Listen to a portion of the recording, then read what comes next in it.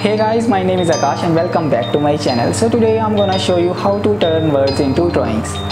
So I hope you guys like this video. If you guys like this video then make sure you like, make sure you subscribe and make sure you guys click on the bell icon and never miss a video from my channel.